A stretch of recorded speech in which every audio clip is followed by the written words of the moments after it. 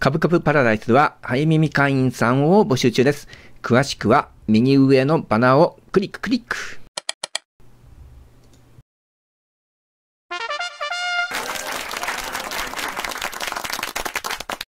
はい、株株パラダイスです。個人投資家の個人投資家による個人投資家のためのチャンネルです。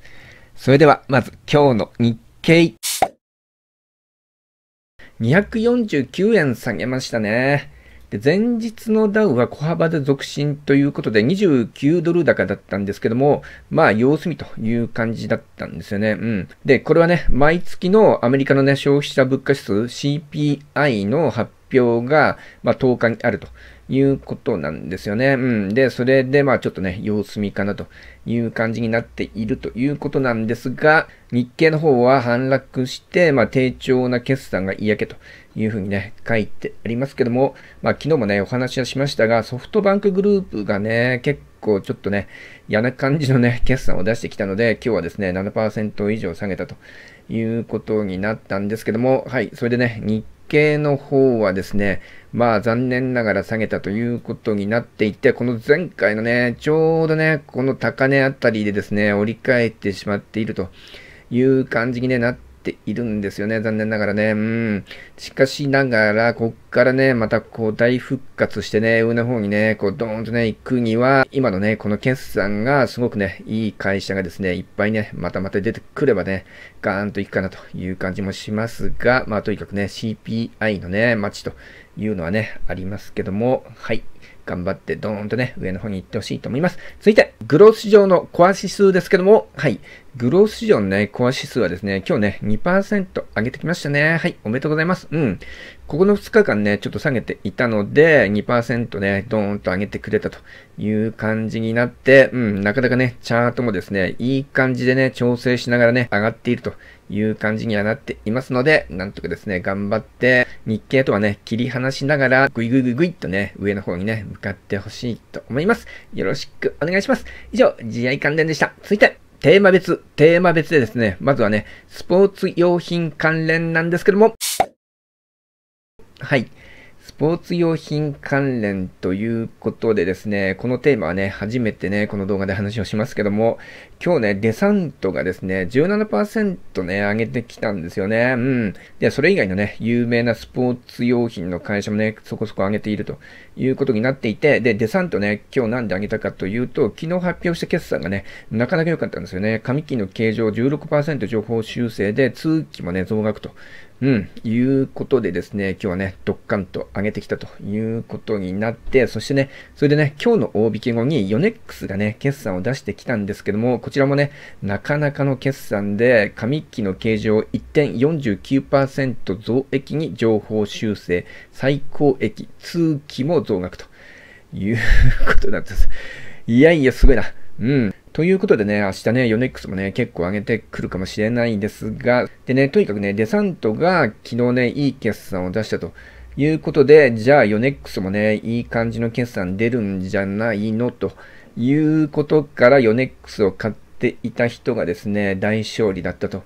いう流れになっていって、そうするとね、あと残っているのがですね、アシックスがね、8月12日にね、決算があるんですよね。うん。で、アシックスのね、決算がですね、これね、どういう風になっていくか、ということがね、非常にね、気になるんですけども、ただね、ちょっとね、他のスポーツ用品会社に、まあ、つられてかわかりませんけども、今んとこね、そこそここう、上げてきているんですよね。決算期待なのか、連れ高なのかわからないんですけども、うん。それとね、ちょっとね、他の会社よりもね、PER がね、高めなんですよね。うん。なので、かなりね、いい決算が出ないと、アシックスはね、ひょっとしたら厳しいかもしれないんですが、まあ、それにしてもですね、ちょっとね、気になるので、このね、話をしてみたんですが、はい、どういう風になるかね、見ていきたいと思います。続いて、直近の IPO ですけども、はい。直近の IPO はですね、今日ね、結構上げたやつがあって、まずこの M&A 総意見ですけども、こちらね、8%以上上げたということになってですね、昨日ね、大きく下げてしまったんですが、今日はね、いい感じで盛り返してきたなという風にね、なりましたが、ただね、明日からマシ担保のね、規制が入るということにはなりましたが、まあ、スタンポでちょっとね、弱くなるのか、それともね、そのままぐいぐいね、またまた上がっていくのか、とても気になりますので、まだまだね、見ていきたいと思います。続いて、日本ビジネスシステムズなんですが、はい。日本ビジネスシステム図はですね、今日ね、6%以上ね、上げてきたんですよね。うん。チャート的にはですね、なかなかね、いい感じでね、整っているなという気はするんですけども、それでね、今日の大引け後に決算が出ていて、10月、6月期の計上は33億円で着地と、うん、いうことになっていてですね、で、進捗率がね、94%なんですよね。通期計画に対しては、3級まで進んで進捗率がね、94%と。いうことなので、まあ悪くはないと思うんですよね。これだけ見たらね、うん、悪くはないとは思うんですけども、しかし、アナリストがね、勝手にやっているコンセンサスっていうのがあって、個人投資家ね、誰もそのコンセンサスにね、合意はしていないんですけども、アナリストがね、勝手に決めているコンセンサスから見ると、ちょっとね、弱いかなという感じかもしれないですけども、まあ、それでもですね、これだけ見たらね、いいかなと思うんですが、はい、明日ね、どういう風になっていくか見ていきたいと思います。続いて、法政なんですけども、はい、法政はですね、今日ね、初めてね、大きいね、陰線で終わったと。いうことにね、うん、なりましたね。残念ながらね。うん。昨日言った通りにね、今日から増し担保の規制が入っているので、なかなかですね、ちょっとね、上げづらかったっていうところはね、あるかなと思うんですよね。うん。まあ、ここまでね、かなり爆上げしてきていたので、まあ、ちょっとね、下げるのはやむなしという感じにはね、なりましたけども、これでね、終わってしまうのか、それともね、どっかでですね、またリバってくるのかと。いうところで、まだまだね、気にしてみていきたいと思います。以上、直近の IPO でした。続いて、新ネタ、新ネタのコーナーですけども、まずはね、インクルーシブなんですが、みんな大好きインクルーシブですが、今日はね、5%上げてきたということになったんですけども、これは何があったかというとですね、まずね、インクルーシブといえば、ロケット開発のベンチャー企業であるインターステラテクノロジーズと、まあ、資本提携しているということでね、結構話題ですよね。うん。で、インターテスラのね、ロケットはこんなようなね、ものを目指しているというものなんですけども、で、その会社にね、ホリエモンさんがね、取締役であり、ファウンダーであると、うん、いうことになっているわけなんですが、で、今日ね、なんで上げてきたかというとですね、N 党のね、立花党首が、三崎優太さんのね、YouTube の中で、こんな発言をね、していると。いうことがあったんですよね。あれもこれから株上場してめっちゃ集めるらしいのよと。いうようなですね、まあことなんですよね。うん。これがね、ホリモンさんの話題の中で、ロケットのね、会社の文脈の中で語られたので、このね、インターステラテクノロジーのことだろうということで、まあ今日はね、そこそこ上げてきたということなんですよね。うん。まあただね、時期的なこととかね、規模的なこととかね、まあもうちょっとね、詳細なこととかっていうことはね、何もね、話していないので、まあ今日はね、5%くらいの上げということになったんですけども、とりあえずね、そんなようなですね、思惑でね、ちょっとと上がってきたということに、ね、なったんですけども、はい、これをね、どこまで間に受けてですね、まあ考えていったらいいかというのは、もちろんね、あなた次第ですというところなんですけども、はい、まあまあね、気になるところではありますが、はい、続いて、ウェッジホールディングスなんですが、はい。ウェッジはですね、今日なんとね、ストップ高に張り付いて終わりましたね。はい。おめでとうございます。うん。で、まずね、ウェッジはね、7月にね、一旦爆上げした時期がね、ありましたよね。うん、この動画の中でもね、お話はしましたけども、ドーンとね、上げたという時期があって、その時はね、何があったかというと、これがね、出ていたんですよね。うん。で、ウェッジのね、グループ会社のグループリースっていう会社があるんですけども、これはね、タイにある会社なんですが、で、そこがね、J トラストっていう会社とね、揉めているんですよね。まあ、揉めているっていうかですね、J トラストがね、いろんな国でね、このグループリースっていう会社をね、訴えていると、うん、いうような、まあ、裁判沙汰になってていてですね、揉めているということなんですけども、うん。で、前回ね、7月1日に出た IR が、それに対してね、タイの特別捜査局が、まあ、刑事告発をね、棄却しましたよと、うん、いうようなことがあって、爆破にしたということだったんですよね。うん。で、民事でもね、結構争っているので、結構なね、金額がね、入ってくるんじゃないかというような思惑でね、まあ、爆破にしたということもね、あったんですけども、でね、今日何があったかというと、今日ね、これを出してきたんですよね。グループリースによる発表ということで、グループリースは2020年の財務諸表を公開し、株取引の再開に向け前進というものだったんですよね。うん、はい、おめでとうございます。でね、このグループリースっていう会社が2020年のね、年次決算の発表がですね、まあ、遅延していたと。いうようなことがあったんですけども、それをね、やっと公開しましたよと、うん、いうことで、いよいよですね、そのね、株の取引もね、再開されることになるだろうなというようなことでの、まあ、前進ということなんですけども、うん。ということでですね、これがね、かなり前向きに捉えられて、まあ今日はね、ストップ高まで買われたということなんですよね。うん。ということでね、この前回のですね、高値ぐらいまでね、どんとね、行くのかどうかと。いうことで、またまたね、気になるようなものがね、出てきましたけども、はい。どういう風になっていくかね、見ていきたいと思います。続いて、カイノスなんですけども、はい。カイノスはですね、今日ね、7%以上上げたんですが、途中ね、もっと爆上げした時間帯がね、あったんですよね。ドーンと上げたんですけども、まあそこからね、下げられたんですが、7%上げたということにはね、なりましたけども、で、これはね、何があったかというとですね、おそらくね、これに反応したと思われるんですよね。昨日の夜の10時にですね、日経新聞がね、こういうふうに報じていたんですけども、コロナ検査キットをネット販売解禁へと。うん。で、政府がね、調整していますよというようなことだったんですよね。うん。で、これのね、詳しい内容はいつも通りね、この日経さんのね、有料会員じゃないと見れないので、いつも通りね、無料で見れる株ンさんの記事をね、引用させていただきますけども、うん、で、ここに書いてあるのが、政府はね、新型コロナウイルスの感染を調べる抗原検査キットのインターネット販売を月内にも解禁する方向で調整に入ったと。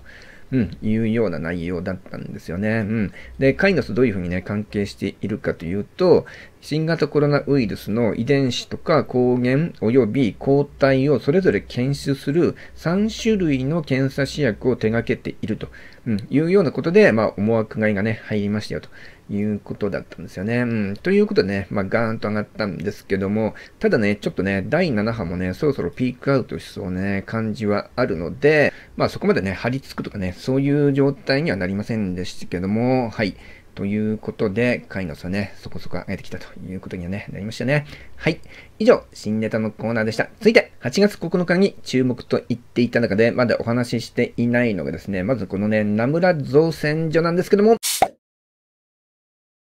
はい。名村造船所ですね。今日もね、ストップ高で引きましたね。はい。おめでとうございます。で、昨日はね、寄らずのストップ高ということで、なかなかのね、決算を出しているという話をね、しましたけども、今日もね、なかなかの上げっぷりということになりましたので、はい。これをね、持っている方はね、結構良かったんじゃないかと思いますけどもね、はい。頑張ってください。そして、SK エレクですけども、はい、こちらもね、昨日の動画でなかなかの決算が出たという話をしましたけども、今日はね、寄らずのストップかということに、ね、なりましたね。はい、こちらもね、明日どうなるかね、気にしてみていきたいと思います。そして、なんとですね、新バイオくんがですね、今日ね、13%も上げてきましたね。はい、おめでとうございます。うん。でね、昨日はストップ高で終わり、今日はね、13%上げてきたということになってですね、すごい爆上げ中なわけなんですけども、で、いよいよね、前回のこの高値ぐらいまでね、来ているので、ここね、明確にね、今週中に抜けるかどうかと。いう感じなんですが、はい、うまくいってほしいんですけども、でですね、今日ね、またまたですね、IR が出てきたんですよね。はい、こちら。アメリカの NIH 所属の国立神経疾患脳卒中研究所とブリンシドフォビル注射剤の共同研究資料提供契約を締結。エブスタインバーウイルスに対する非臨床試験のためと。いうようなことだったんですよね。うん。はい、おめでとうございます。ということだったんですけども、ただね、それが出た瞬間にパンと上がったんですけども、そこからね、ドーンと押さえてしまったんですよね。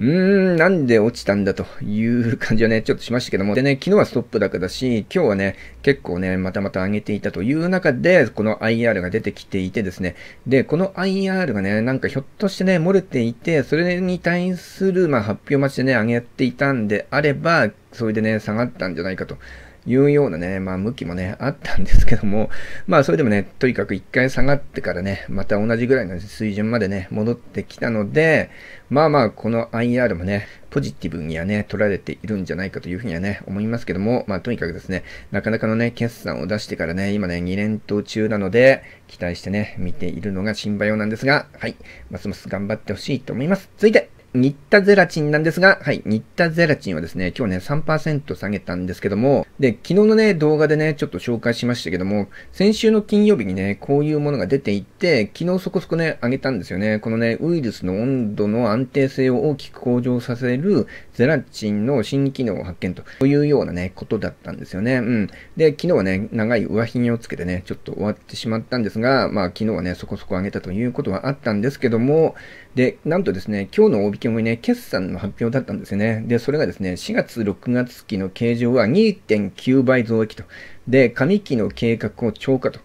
いうことに、なっていたんです。いやー、これね、今日の大引け後にね、なかなかいい決算を出してきていてですね、まあちょっとね、おいおいおいということで、昨日ね、出したこのね、論文の話、このゼラチンのね、ウイルスの話が、基礎決算の前にね、よくありがちな好材料を出したと。いうようなことではなく、昨日のね、この材料もね、ポジティブな材料であるし、今日のね、決算もね、なかなかの決算だったということで、両方ね、いいやつだったんですよね。ということで、ちょっとさ、あのね、これ一緒に出してくれないかなっていうね。なんでこれね、あの、1日ずらして出すんですかっていうね、ことなんですよね。うん。ということでね、あの、ぜひね、決算の時はね、一緒に出すようにね、よろしくお願いします。続いて、最後にですね、神話ワイズなんですが、はい。神話はですね、今日ね、20%以上下げてしまったんですよね。うん。でね、昨日のこの動画で、昨日の夜に、エドバースのね、まあ、またまたね、レポートがね、YouTube で生配信されますよという話をね、しましたけども、その中でですね、アンバサダーの方がね、発表されて、小錦さんだったんですよね。うん。元ね、大相撲の大関だった小錦さんと。うん。いうことが発表されて、で、今までですね、結構ね、このアンバサダーのね、噂というかですね、希望というかですね、まあいろんなね、名前がですね、ヤフーのね、掲示板にはね、乱れ飛んでいて、まあ、本田圭佑さんとかね、まあとにかくですね、いろんなね、有名な方のね、名前がね、期待としてね、出てはいましたけども、実際に発表されたのが小錦さんだったということで、うーん、ちょっとね、期待値からはね、遠かったたのかなという感じになってね、大きく売られてしまったということにはね、なりましたけども、うん。なので、ちょっとね、チャート的にはね、またまたかなりね、苦しい位置にまでね、来てしまったんですが、まあそうは言っても、エドバースの企画時代はね、まだまだね、あるので、まあ今後ね、どの辺でね、止まってですね、またね、どこでリバっていくのかというところをね、見ていきたいと思います。以上、8月9日の注目銘柄でした。続いて、8月10日の注目、はい。ウェッジホールディングス、SK エレク、新バイオ、M&A 総研、日本ビジネスシステムズ、インクルーシブ、メディネット、サイバーステップ、クリングル、久保田製薬、グローバルウェイ、ダブルスコープ、エネッチェン、川崎線、ガーラ、アエリア、DLE、 Abalance、マイクロ波、キャンパス、エニッシュ、ニッタゼラチン、マイポックス、高取、法政、シンワ、このように中心に見ていきたいなと思ってます。それではここで株株パラダイス成長パートナーシッププログラムにご賛同いただいた皆さんのお名前を表示させていただきます。本当に本当にありがとうございます。皆さん一緒に成長していきましょう今後ともよろしくお願いいたします